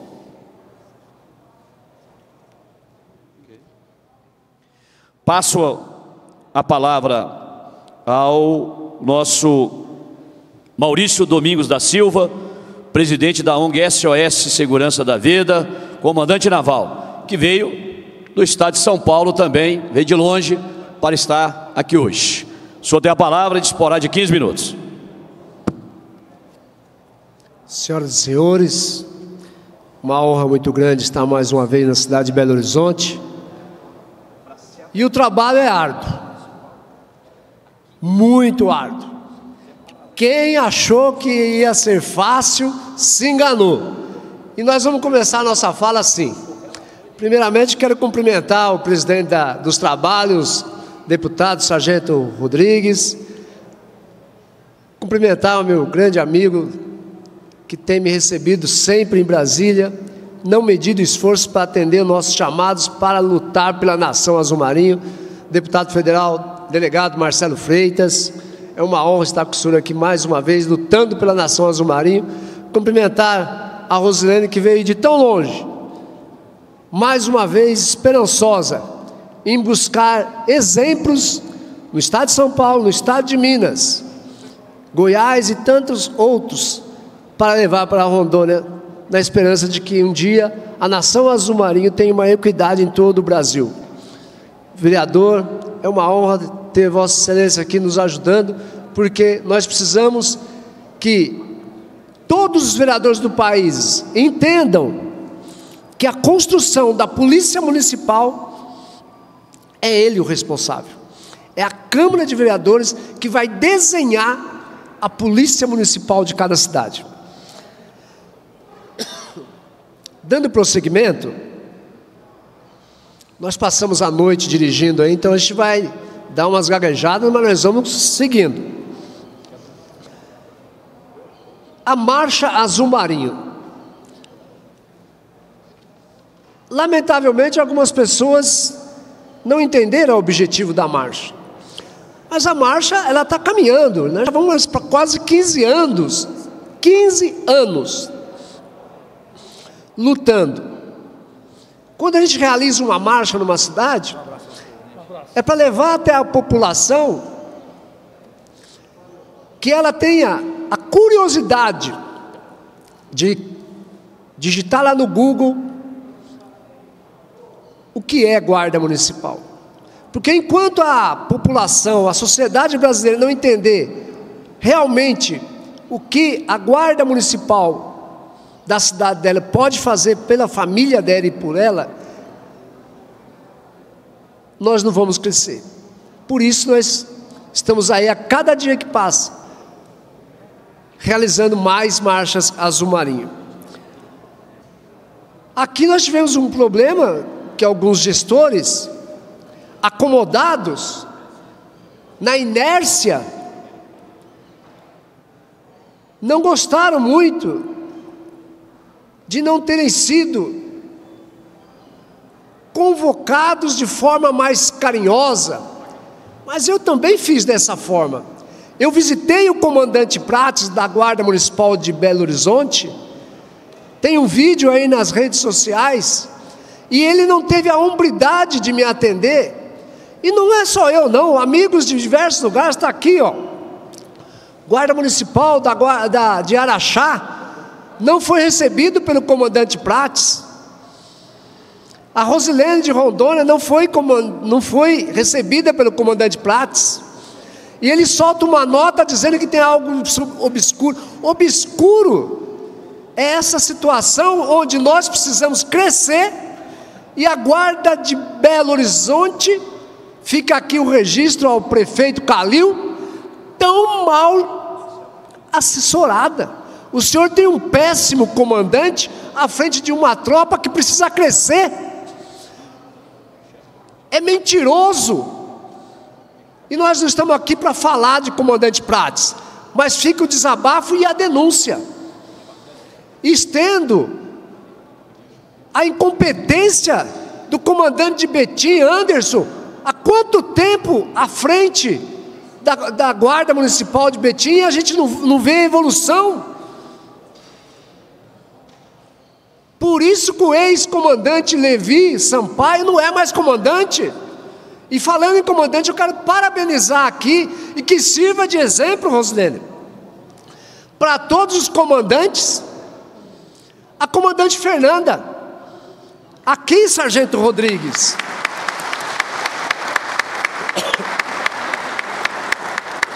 Aqui, deputado Sargento Rodrigues, na Guarda Municipal, não se comanda com galão. Não é o suficiente. Nós temos corregedoria, ouvidoria e principalmente o regulamento disciplinar. Mas tem que comandar com inteligência. Foi o tempo que você achava que mandava num homem e numa mulher de folga. Isso é assédio moral, nós precisamos mudar esse conceito. Nós precisamos nos preocupar em ter criatividade para combater a violência em nossa cidade, criar novas ferramentas de como apoiar a família, como apoiar as crianças. As nossas crianças estão aí à frente das escolas, a todo momento sendo envenenadas por traficantes e ninguém faz nada, porque é muita demanda para a polícia militar. Aí vieram as guardas municipais que tem isso na sua atribuição. E por que não realiza? Porque está preocupado com o cargo. O cargo não é vitalício.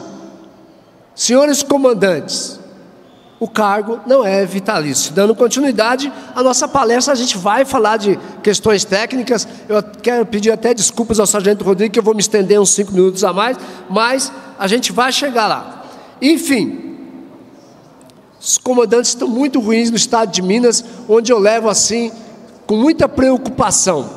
E com certeza, nós vamos trocar todos eles. Hoje, com a chegada da internet, a sociedade não consegue mais, em hipótese nenhuma, aceitar pessoas incompetentes, a sociedade não aceita mais pessoas incompetentes à frente de mais nada. Ou você estuda, você faz uma boa gestão, ou a própria sociedade te tira. Bom, e falando em atribuição de comandante, eu quero fazer aqui um, um elogio ao, ao deputado Sargento Rodrigues, que fez essa lei retirando aí a prisão administrativa. Isso é um avanço fantástico. Acho, acredito que é a única polícia militar no, no Brasil que já cortou essa questão de, de prisão administrativa. Por outro lado, quero fazer uma cobrança. Nós precisamos, Sargento Rodrigues, que tanto trabalhou na rua, eu trabalhei 32 anos na área operacional em toda a região metropolitana de São Paulo, principalmente na região do Butantã e Pirituba. E como homem de rua operacional, eu quero alertar um crime que a Polícia Militar já comete, virou uma cultura e transferindo isso para as guardas municipais, que é a questão do REDES. Sargento Rodrigues, não precisamos aqui dizer que os comandantes aqui amam Vossa Excelência, né? Mas eu precisava fazer esse evento e trazer à tona, trazer à baila a abertura dessa negociação. Nós precisamos sentar e debater sobre o assunto Porque neste exato momento tem guarda municipal, tem policial militar que pega o preso em determinado lugar, conduz para o lugar B, para depois apresentar à autoridade policial. E neste local B, ele fica ali quase duas horas com o seu preso. Está caracterizado aí cárcere privado. Aí me falam, mas a PM faz isso.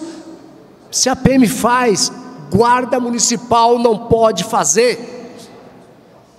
Quando você pega a pessoa que você deteu, você conduz diretamente à autoridade policial. Mas a culpa não é dos senhores. E aí eu chamo a atenção do deputado Sargento Rodrigues, fez a abertura brilhantemente e falou em nome de Deus.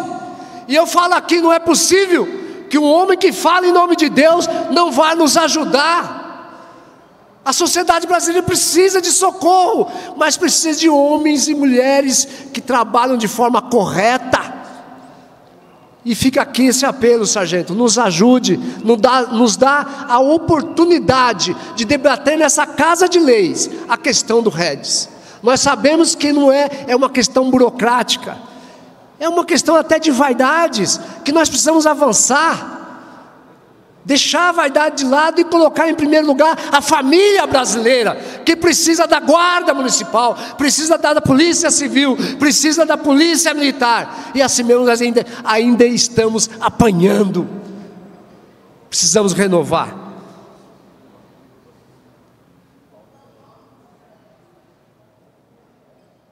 Depois nós vamos abrir aí, se dentro da possibilidade, eu faço mais um apelo ao presidente. A abertura para algumas pessoas que queiram falar, eu acho interessante, porque nós estamos falando de valorização.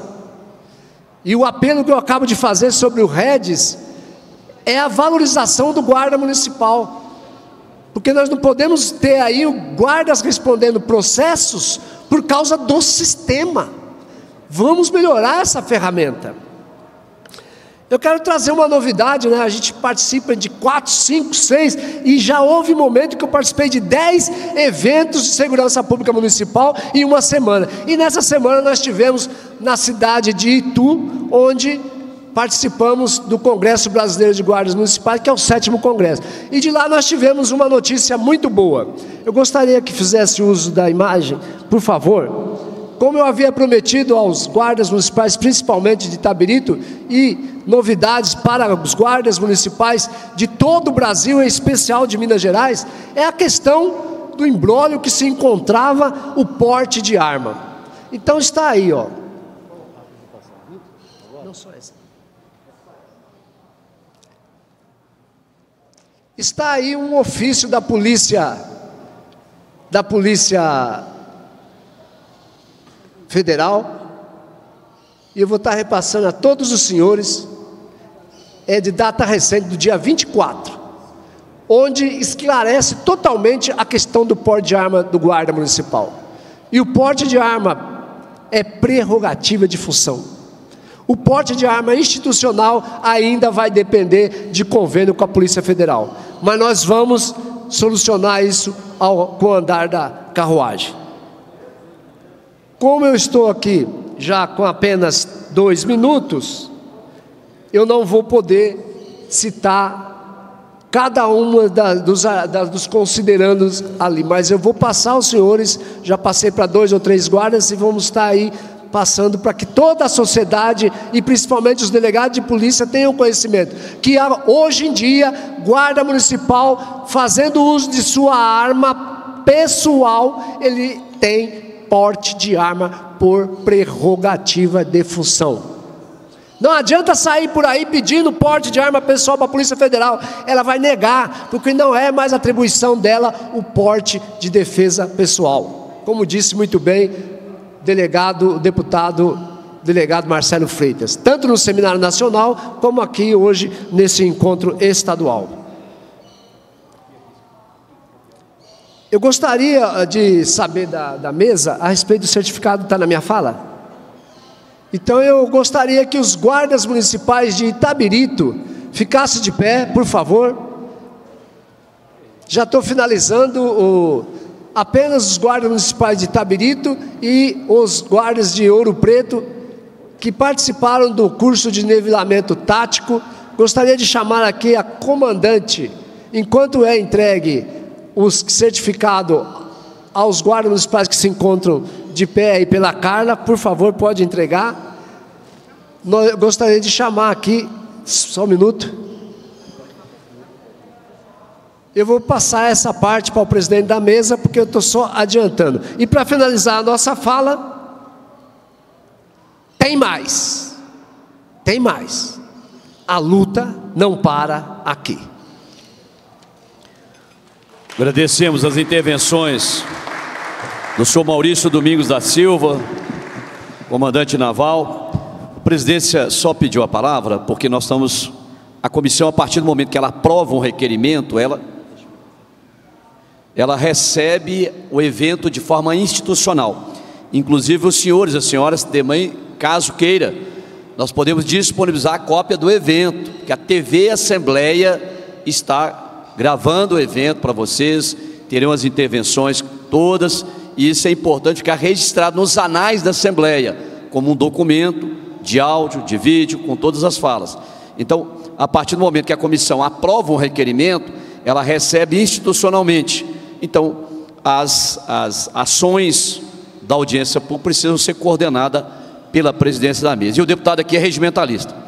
Então a gente obedece o regimento. Eu vou, é, comandante naval, eu vou solicitar ao senhor Maurício Domingos da Silva, presidente da ONG, da ONG SOS Segurança da Vida, para se posicionar à frente da mesa dos trabalhos, para que possa, sendo auxiliado pelo nosso assessor, fazer a entrega formal aqui das moções. O senhor pode ocupar agora o microfone e pode chamar para que a gente possa fazer a entrega. Inclusive acompanhado da da nossa Rosilene Ferreira dos Santos. Por gentileza, senhor tem a palavra. Quer prosseguir?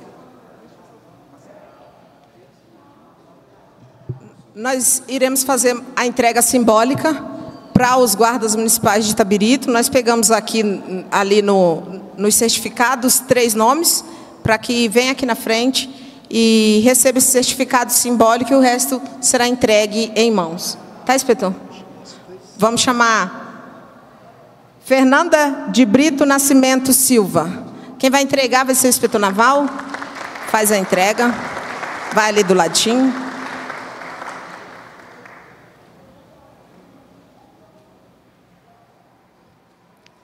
A foto? Tirou a foto? Nós gostaríamos que o deputado é, Sargento fizesse a entrega do certificado para o Samir Tales Ferreira de Assis. Para ele fazer.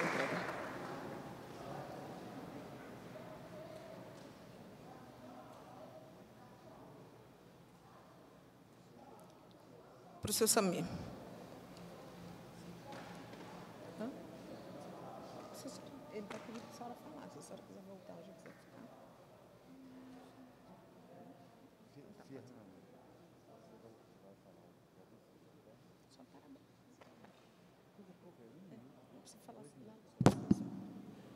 É, vamos pedir para o vereador Wilsinho da Tabu para fazer a entrega para Edivânia Timóteo da Paz. Ela está?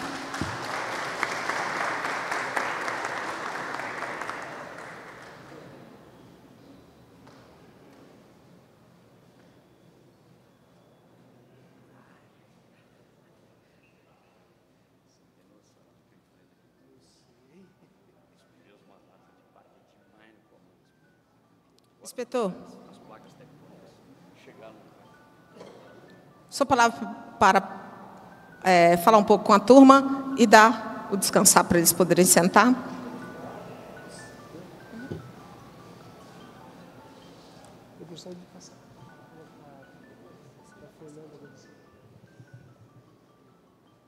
Acredito que os senhores e as senhoras podem se sentar.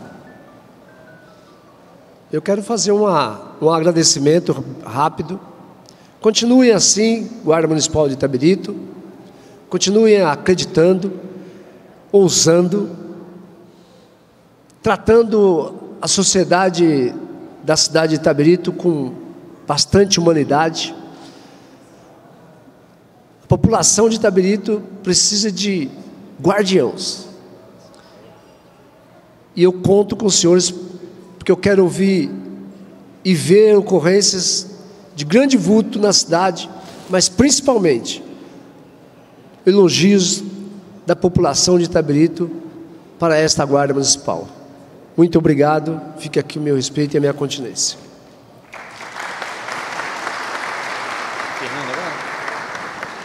Agradecemos mais uma vez o comandante naval.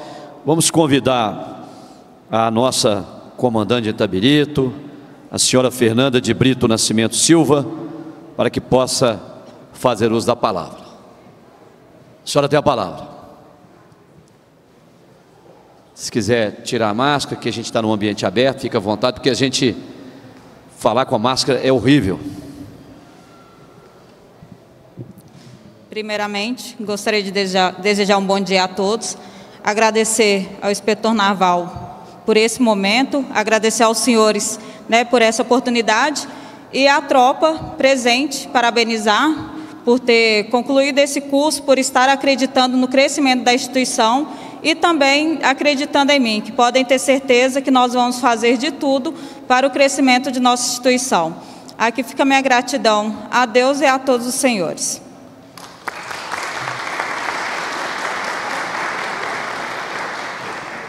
Muito obrigado, Fernanda de Brito Nascimento.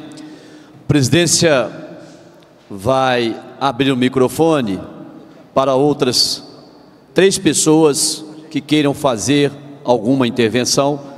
A, a nossa querida Fernanda foi brevíssima nas suas falas, né?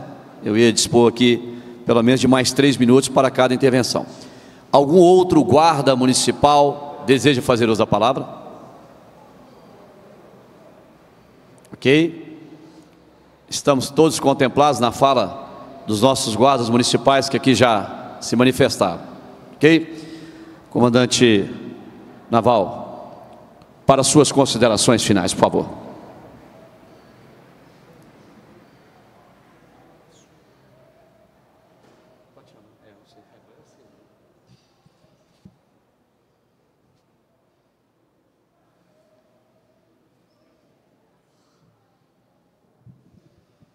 Para finalizarmos, eu tenho algumas palavras a dirigir aos senhores e senhoras, mas aproveitar o um momento eu estava falando com o deputado ali,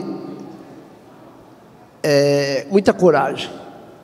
É muita coragem, porque nós sabemos da problemática e polêmica entre as instituições. E eu parabenizo pela coragem de estar à frente de um evento tão importante quanto esse, porque isso é crescimento. E para homenageá-lo por esse momento, a ONG SOS Segurança da Vida. Eu quero ver se a Irlaia está presente. Com a autorização da comandante Fernanda, eu gostaria de chamar a Irlaia aqui para e chamar à frente da mesa dos trabalhos o presidente do, da Comissão de Constituição e Justiça, deputado Sargento Rodrigues à frente da mesa, por favor, Ilaia.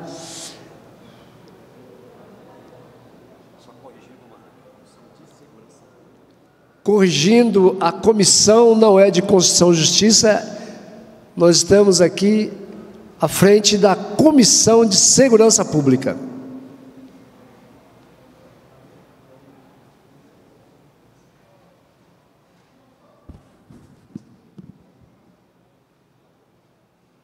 Neste ato, recebe das mãos da Guarda Municipal de Tabirito Laia um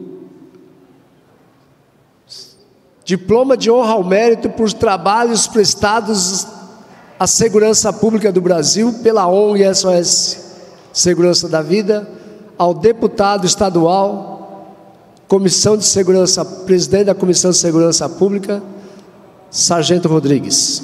Muito obrigado.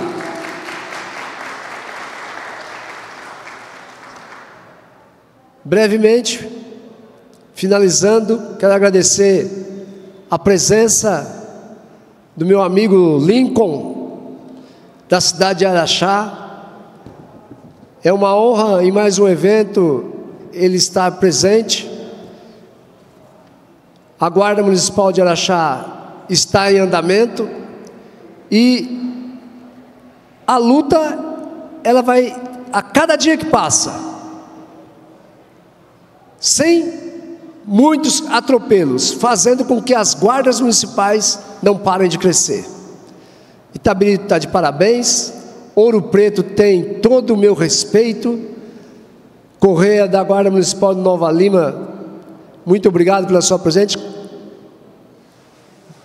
Gostaria de chamar aqui o comandante Marota, por favor.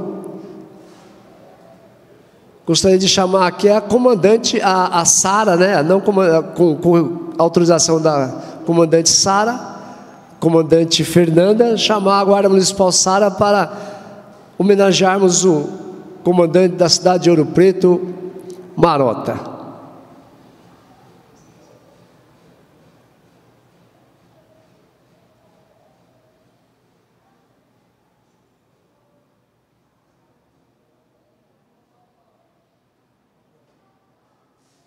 Neste ato, a homenagem é realizada para o comandante Marota da cidade de Ouro Preto.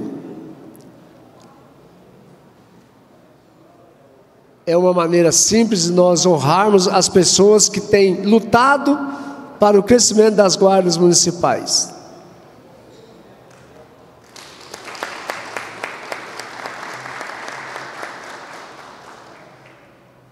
Eu finalizo agradecendo o deputado federal, delegado Marcelo Freitas e o deputado estadual Sargento Rodrigues. Deus é fiel. Nós tivemos aqui dez cidades presentes, distribuídas por três estados. E Minas Gerais, mais uma vez, mostrou a sua grandiosidade. E Itabirito sai na frente. Parabéns, parabéns, parabéns. Muito obrigado a todos.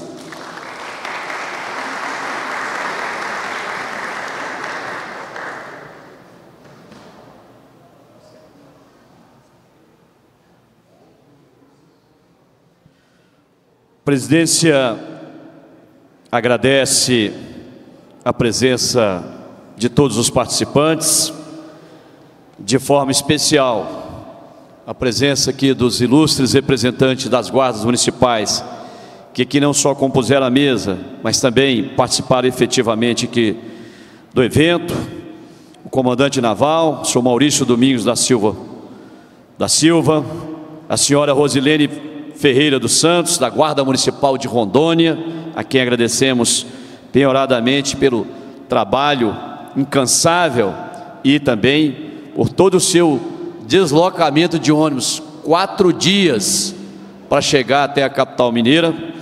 Agradecemos a comandante Fernanda de Brito Nascimento Silva, comandante da Guarda Municipal de Itabirito.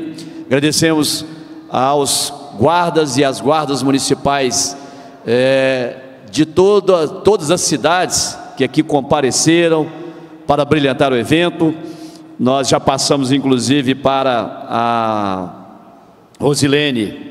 Né, aqui estão as cidades aqui, o comandante naval me auxiliando aqui, Tabirito, Ouro Preto, Nova Lima, Belo Horizonte, Santa Luzia, Araxá, Barbacena, Poços de Caldas e os estados, né? São Paulo, Rondônia e Minas Gerais.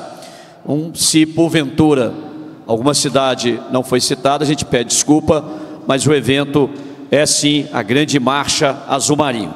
Queremos agradecer o deputado federal Marcelo de Freitas. Ele precisou se ausentar porque tinha um voo, então ele pediu que eu registrasse aqui, eu pedi desculpas dele, porque ele tinha um voo e precisava se ausentar. Então quero agradecer a todos, agradecer aqui o chefe de gabinete dele, o doutor Tadeu, não é? E a Comissão de Segurança Pública da Assembleia está à disposição dos senhores e senhoras. Caso vocês tenham alguma sugestão de aperfeiçoamento no âmbito estadual de alguma legislação que diz respeito à guarda municipal e, obviamente, né, seja compatível com o ordenamento jurídico. Eu estou, é, quando falo compatível com o ordenamento jurídico, eu estou dizendo que a matéria não tenha visto iniciativa ou que seja realmente é, de competência do Estado membro. Me coloco à disposição dos senhores e das senhoras para poder aqui apresentar a matéria. A lei estadual, lei complementar 116 que nós entregamos para a é que não deu? da Rosilene, ela pode ser copiada nos municípios. Ela pode ser copiada. A deputada, como é que eu faço para ter acesso a essa lei? Entra no site da Assembleia, vai lá em atividade parlamentar, sai da Assembleia, consulte, abre o link, Lei Complementar 116. Vocês vão achar facilmente. Hoje, o próprio celular vocês acham ali. Olha, chega no vereador da cidade e fala: olha, nós queríamos uma lei semelhante a essa, adaptada à realidade municipal né? porque a lei foi feita no âmbito da administração pública estadual. Mas o mérito da lei, o conteúdo do mérito, ele não vai diferenciar, não, de município para outro município. Né? Nós trabalhamos muito nesse projeto, é, debruçamos um bom tempo, fizemos diversas audiências públicas e com certeza vocês vão ter condições de pedir às câmaras municipais de vocês que possam produzir uma legislação como essa. Pode. Fazer uma pergunta no microfone. Fique à vontade que nós já vamos encerrar.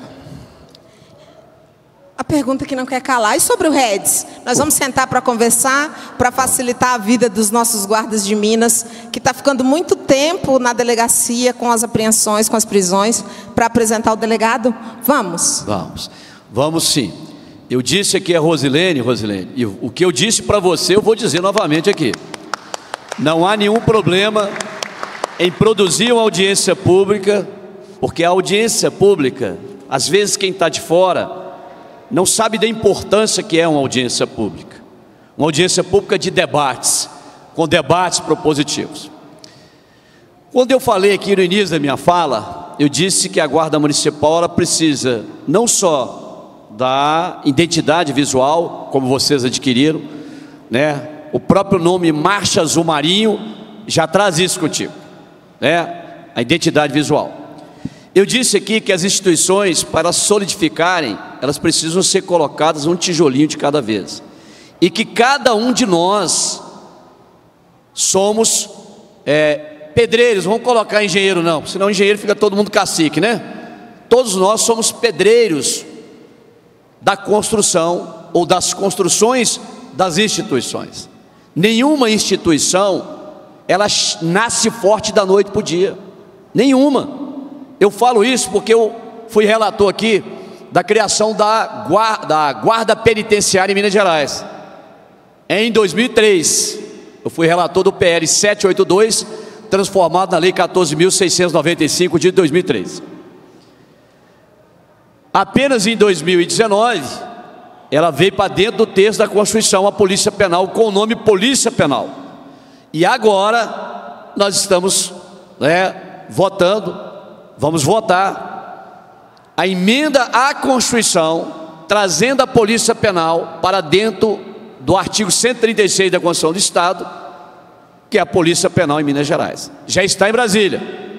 Só que os estados você tem suas forças estaduais independentes. Então é preciso trazê-la para dentro do texto da Constituição, do Estado.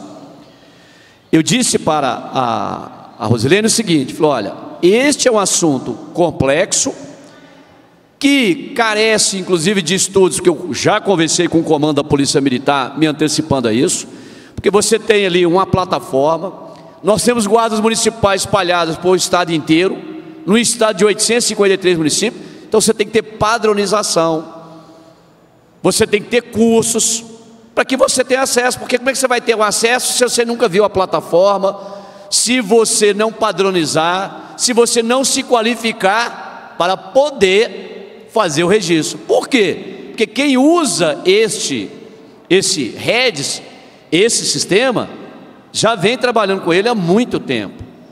já tem ele padronizado, já vem isso há décadas.